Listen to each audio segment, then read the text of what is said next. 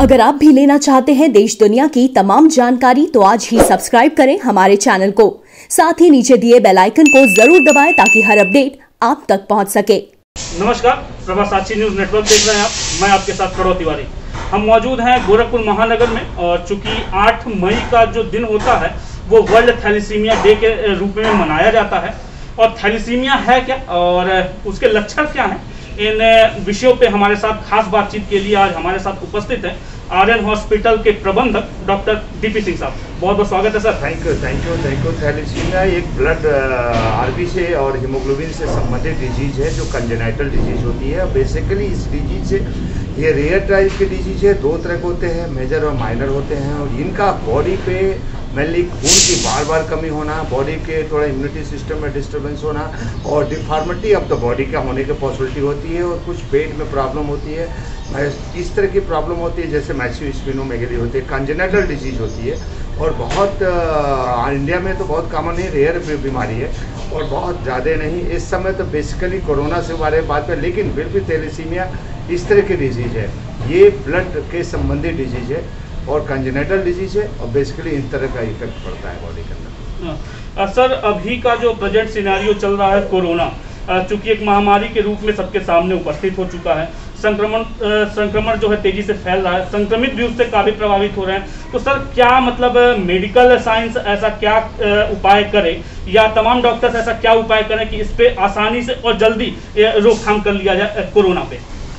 देखिए, सबसे बड़ी बात है कि कोरोना आज के तारीख में पेंडेमिक बना हुआ है। इसके पीछे सबसे बड़ी इंडिविजुअल इंसान, सारे इंडिविजुअल इंसान की ज़िम्मेदारी है कि वो हेल्थ सेक्टर का एक अच्छा अवेयरनेस जानकारी हो, अपने पर्सनालिटी अपने बिहेवियर अपनी पर्सनालिटी अपने बिहेवियर अपने आदत के अंदर ज़रूर चेंजेस ऐसा करे, जो पर्सनालिटी को ऐसा चेंजेस करे आने वाले समय में एक दो साइकिल और आएगी थर्ड साइकिल फोर्थ साइकिल आएगी।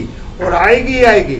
और वो हमारे हमारे किसी आसपास पड़ोसी के अपने शरीर को किसी न, किसी शरीर को ज़रूर नुकसान ना कुछ पहुंचाएगी, या फाइनेंशियल नुकसान पहुँचाए, या सोशल नुकसान पहुँचाए, या पर्सनल नुकसान पहुँचाए, या किसी तरह का नुकसान पहुँचाए। इससे बढ़िया ज़रूरी है कि आप अपने पर्सनालिटी के अंदर, अपने बिहेवियर के अंदर, अपने चीज़ों, आदत के अंदर ऐसी चेंजेज लाएँ जो कोरोना को कोरोना को हराने में काफ़ी मदद करे। जैसे आपको आदत डालना पड़ेगा कि मास्क लगाना है।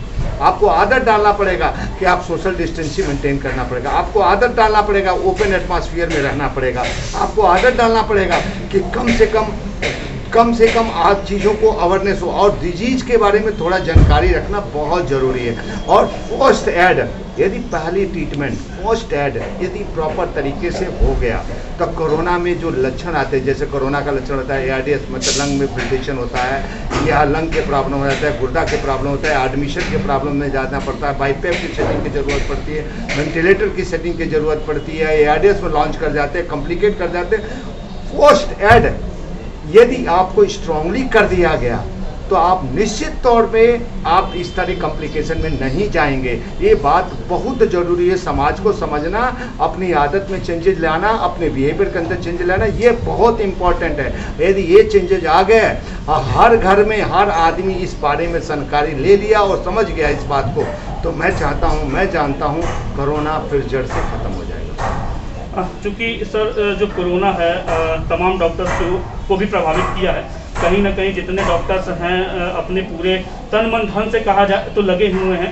तमाम पेशेंट्स की सेवा कर रहे हैं और उन्हें जितना उपचार दिया जा सकता हो, उतने वो कर रहे हैं। लेकिन सर, कहीं ना कहीं एक बड़ी चुनौती सामने आती है क्योंकि आप भी समाज में है, समाज के एक हिस्सा हैं, आपके ऊपर ज़िम्मेदारी भी बहुत है। किस तरीके का सर, आपको समस्याओं का सामना करना पड़ रहा है? आज के तारीख में सबसे ज़रूरी है कि हम लोग इग्नोरेंस अभी तो कोरोना के बारे में हम लोग समझने की कोशिश नहीं कर रहे हैं। सबसे ज़रूरी कि हर आदमी इस बारे में समझे, इसे मज़ाक न बनाए, इसे समझे। और समझने के लिए सबसे ज़रूरी है कि अपने दिमाग अपने ब्रेन, अपनी सारी चीज़ों को प्रॉपर तरीके ऑर्गेनाइज वे में सोचे और समझे।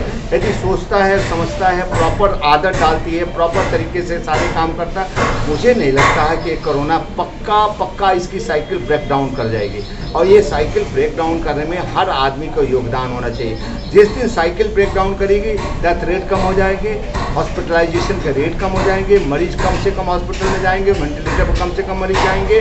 हमारे पास लगातार फ़ोन आ रहे हैं कि वेंटिलेटर की ज़रूरत है वेंटिलेटर अरे वेंटिलेटर की ज़रूरत से पहले ज़रूरी है कि आप अपनी चीज़ों को समझो। कि हमारे साथ क्या हो रहा है, कैसे करें। जिस चीज़ों की ज़रूरत ही नहीं पड़ेगी, ऑक्सीजन की ज़रूरत नहीं पड़ेगी क्राइसिस की कोई क्राइसिस नहीं होगा। यदि आप इंडिविजुअली प्रॉपर तरीके से समझ गए, दायित्व को समझ गए तो ये चीज़ों की ज़रूरत है पर्सनालिटी में चेंज इन चीज़ों की ज़रूरत नहीं पड़ेगी। फ़र्स्ट एड बहुत ज़रूरी पहला ट्रीटमेंट पहला ट्रीटमेंट बहुत अच्छा होना चाहिए, बहुत प्लान में होना चाहिए, जिससे लंग के अंदर डैमेज नहीं होगा।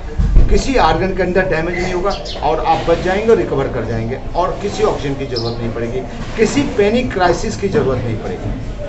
आ, सर एक प्रकरण बार बार सामने आ भी रहा है। कि जैसे कई डॉक्टर्स का कहना है कि आप R T P C R हो, चाहे शुरुआती एंटीजन हो, वो कारगर नहीं साबित हो रहे हैं कोरोना के डायग्नोज के लिए।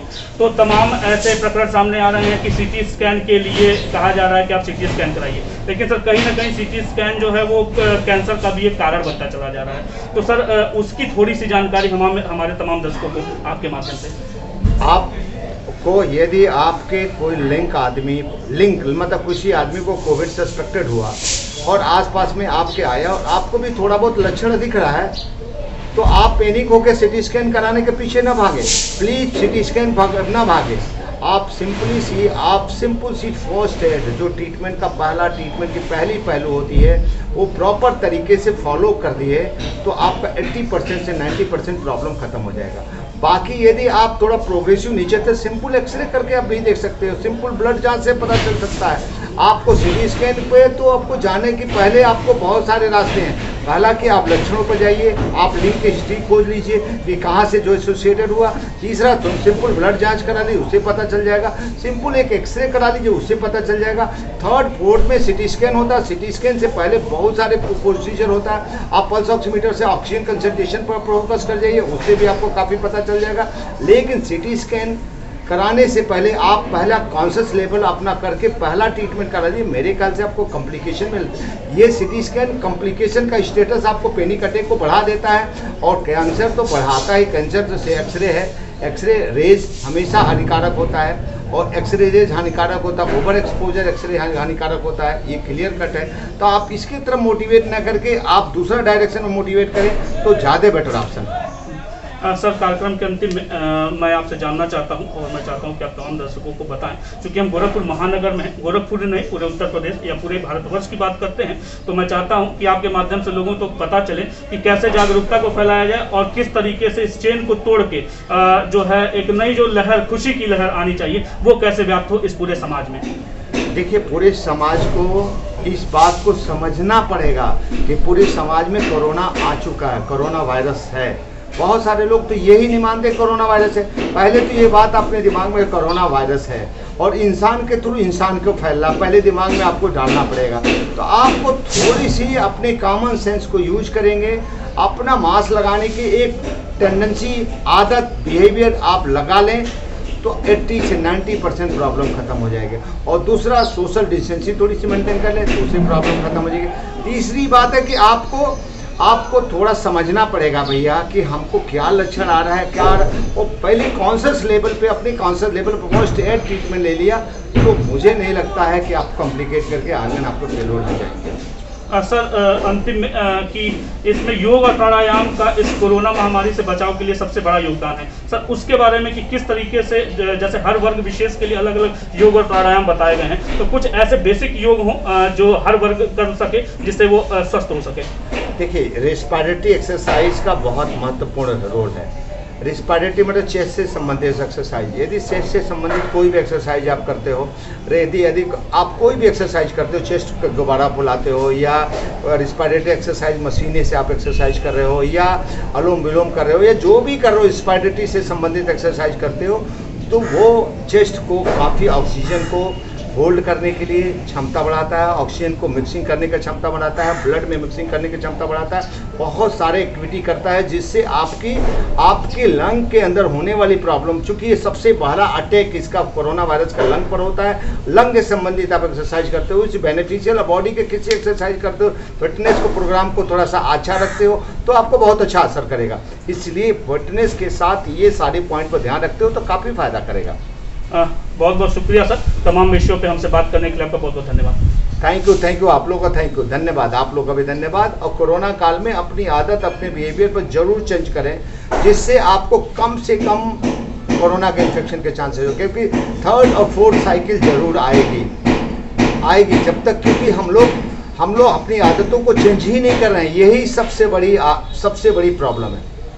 चूँकि डॉक्टर साहब थे और जिम्मेदार नागरिक होने के नाते उन्होंने हम सभी से आग्रह किया है कि चेन और जो साइकिल है वो आएगी, लेकिन उससे हमें अपने आप को बचाना है, समाज को बचाना है। और हमने और हमारी प्रभा साक्षी टीम ने हमेशा से ये कोशिश की है जन जागरूकता फैलाने की कोशिश की है कि आप मास्क लगाएँ सामाजिक दूरी का पालन करें और जो भी कोरोना गाइडलाइन है उसको फॉलो करें। गोरखपुर से प्रणव तिवारी प्रभा